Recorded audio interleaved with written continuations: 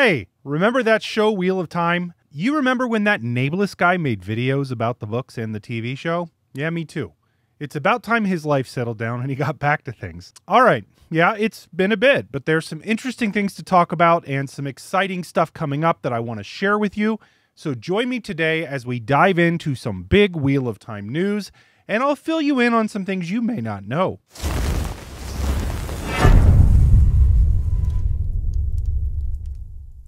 Before we begin, smash the like button if you like Wheel of Time content, both for the books and the TV show. And of course, subscribe to the channel if you want to see more of this stuff. As always, you can find the book spoiler button right here. But let's dive into the news. So it's official. Season 3 of The Wheel of Time has officially finished filming. That doesn't mean that there may not be some reshoots or some touch up shots, but the principal photography has ended for the season. Season 3, like Season 2, was filmed in a ton of different locations. Most of the filming was done in and around Prague, where Jordan Studios is located. And Jordan Studios is the massive studio based just outside Prague with multiple sound stages and outdoor sets. Also located in Prague is the Two Rivers sets. And I was actually able to tour those sets right after season three finished filming in Prague last year. You could check out all of the stuff that I got to do in Prague in the video linked up here somewhere. I'll have it linked in the description of the video as well. But season three also filmed at Barrandov Studios, which is where many of the Cairhien scenes were in season two were filmed.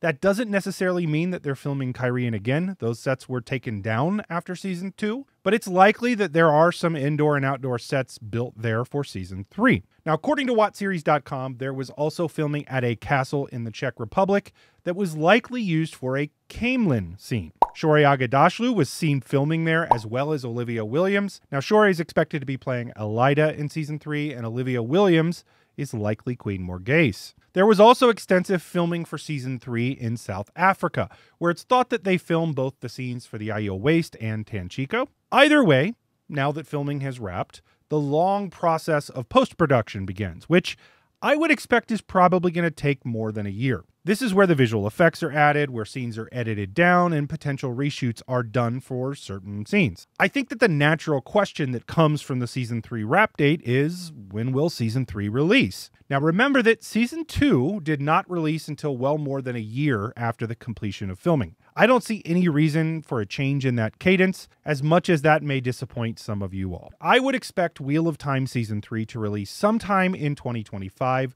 likely in the late summer or autumn timeframe that we've seen both season 1 and season 2 drop. But what will be covered in season 3, you might ask? Well, we know the general idea. Season 3 of the show has been said to cover the material from Book 4 of The Wheel of Time, The Shadow Rising, and from what has been publicly stated by the showrunners and even in private that I've heard, I do expect this season to feel much closer to the source material than the past two seasons. Both the ending of season one and the entirety of season two were changed fairly dramatically due to the departure of Barney Harris in season one. They essentially had to play around with some of the story to account for getting the characters where they needed to be, but all of the pieces are on the board now and in the right locations, and so we are set to have them film uh, what is probably a closer adapted season. Keep in mind, it is still an adaptation.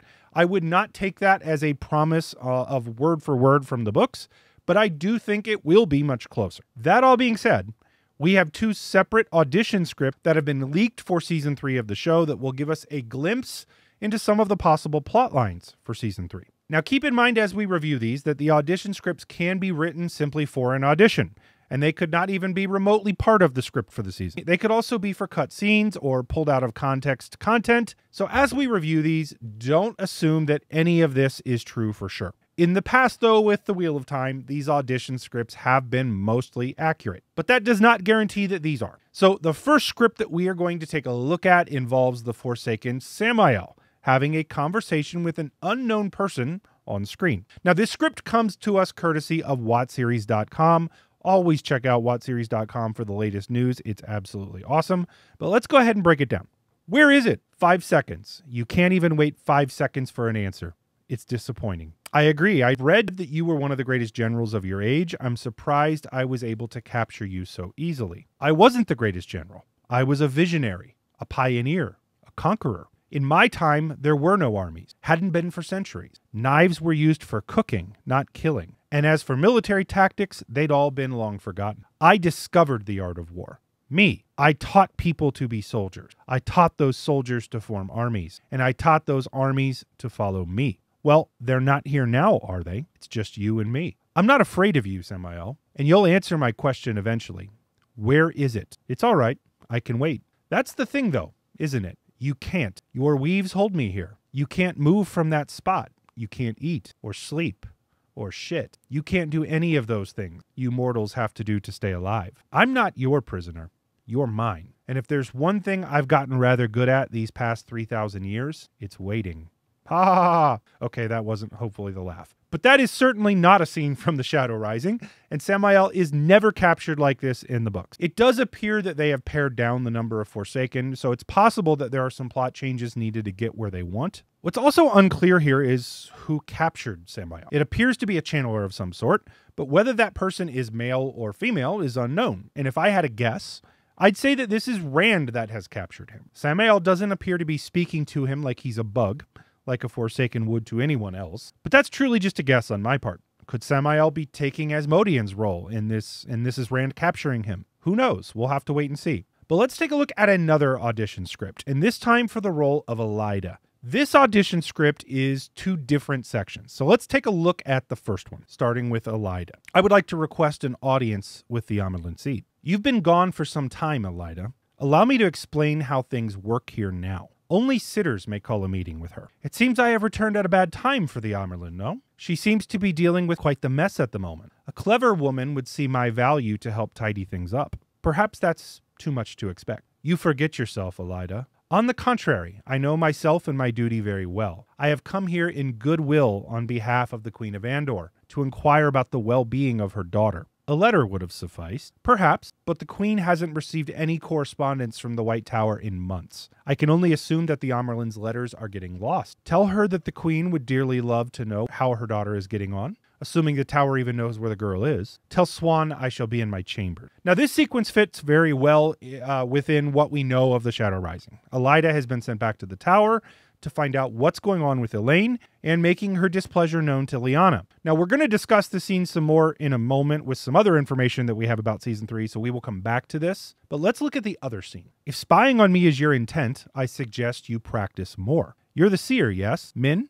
All the talent you possess, and Siuan uses you like a dog sniffing after a rabbit. It can be lonely knowing what's to come, seeing the future writ largely in front of your eyes. I too shoulder that burden. But I suspect my visions and my prophecies are far less frequent than yours. How do you bear it, child? Not well.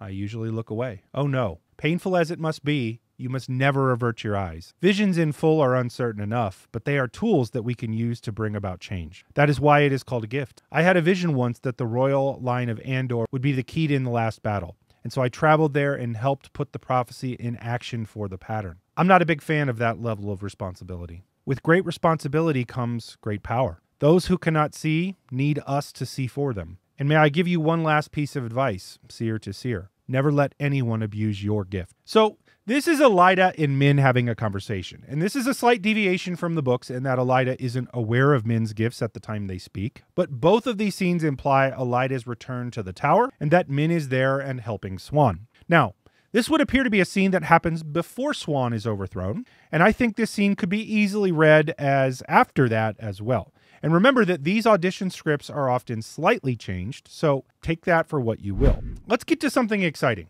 A couple weeks back, an article dropped on Deadline about Wheel of Time. Lynette Rice, the author of the article, sat down with Rafe Judkins, the showrunner for The Wheel of Time, Rosamund Pike, who plays Moiraine, Daniel Henney, who plays Lan, Sharon Gilham, the incredibly talented costume designer for the show, who I got to meet. She's in that video that I linked earlier. Davina Lamont, who is head makeup designer and hair designer for the show. While there were a number of things they discussed in that interview, the biggest takeaway was Rafe discussing the first 15 minutes of season three. Let me show you what Rafe said. The first 15 minutes of season three is one of the most bonkers set pieces I've ever seen on television. I was just watching it this week, and it is absolutely bananas what our team pulled off. Just a bunch of women in their 40s and 50s shredding each other, and it's wonderful to behold. So I will say I have heard similar excitement about the opening to season three before this from people related to the show, not publicly.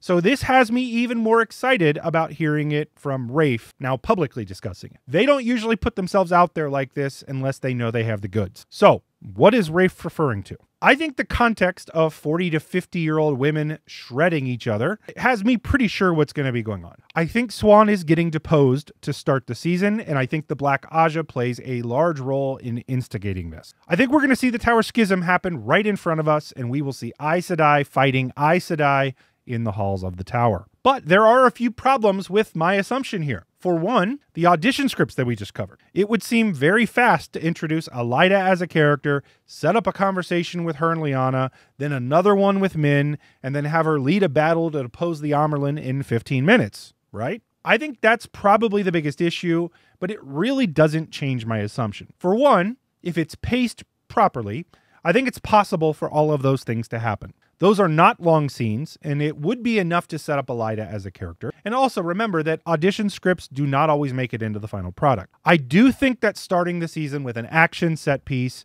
and with some dramatic action and magic use will really set the tone for the season and hopefully hook viewers. Season 2 was a much slower opening, and while it was really, really good, I think episode 1 of season 2 was probably the weakest episode of the season simply due to the lack of action. Do you think that the bonkers 15 minutes is going to be Siuan being deposed, or do you think it'll be something else? Let me know in the comments of the video. So, the countdown until season 3's release is underway. But what about season 4 of the show? Has it been greenlit?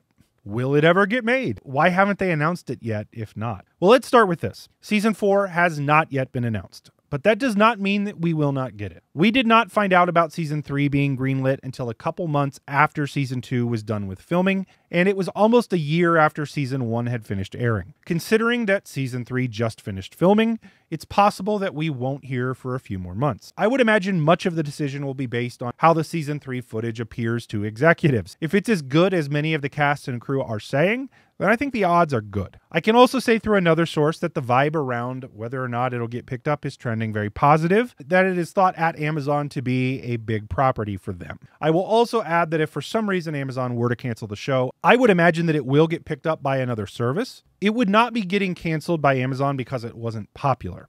It would only be getting canceled by Amazon due to the high budget and their own internal monetization and some of the other shows they're looking at investing in. That being said, I have a good feeling that we're going to hear in the nearest future about season four being picked up, and I think it'll be good news. We'll discuss what could be in season four in a future video. All right, so a few weeks back, I got the chance to be at JordanCon in Atlanta which is always a ton of fun. I got to see many of you. Thank you to everybody that said hello and hung out for a bit. I did not get a ton of chances to record really any content at the convention, but I had a great time at the Igloo Bond Balefire panel, obviously at the Looney Theory panel, which by the way, my theory won again two years in a row. Not bragging, but but I did. And then I had the chance to host the Wheel of Time Family Feud panel, and we had a very close match between Team Kevin and Team Jess. It was a ton of fun as always. But if you've never been to a Wheel of Time convention or a convention in general, I highly recommend checking them out. It's an amazing time, and if you're anything like me, it's hard to find other Wheel of Time nerds in real life to talk about the books in the show with. Plus,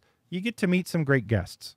One of my highlights at JordanCon this year was having drinks with Guy Roberts, who plays Uno on the show. One day I'll have to tell you the story about the shots that weren't shots. We'll talk about that sometime. But that's a great segue, though, into WotCon. If you missed JordanCon this year and want to be a part of a Wheel of Time convention, there is another one coming up that I help plan and I help put it on. WotCon is taking place July 12th through the 14th here in Columbus, Ohio. We have an incredible set of special guests set to be in attendance, plus a ton of other amazing content, which I can't wait to share with you in future videos. Maria Simons, Robert Jordan's researcher and assistant, will be in attendance. She's an absolute gem. You will love talking to her. Kate Reading and Michael Kramer, the famous audiobook readers for the Wheel of Time series, will be there. They have done live readings the last few years at WotCon.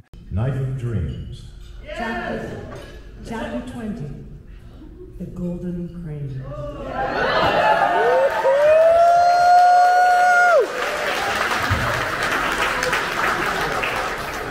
Michael Livingston, author of Origins of the Wheel of Time, will be in attendance. You'll get to pick his brain and learn about why he has come to be known in the community as Hot Mike. Lastly, our guest of honor this year, we have Guy Roberts, Uno from the show, who will be there with us. And if you didn't already know this, Guy is a massive Wheel of Time book fan, dating back to when the series released. This was long before he was cast as Uno on the show, and so he has not only opinions and thoughts on the TV show, but also on the series. You're going to get to hear some behind the scenes information about filming and stories, which are a lot of fun. Plus, he's genuinely amazing human being and a ton of fun uh, for you all to get to hang out with. You can find out more about that at wotcon.com. One last thing of note the room block is filling up fast. So make sure to book your room as fast as possible, which you can just do by entering a card, I think. You don't have to pay upfront. Also, grab your ticket to the convention as soon as possible. It is possible that we will sell out this year, so do not wait. I can't wait to see all of you at WotCon with our MC Matt Hatch, the innkeeper who will be back from his YouTube hiatus. So that's it for the news. Are you getting more excited for season three of The Wheel of Time? Let me know in the comments of the video.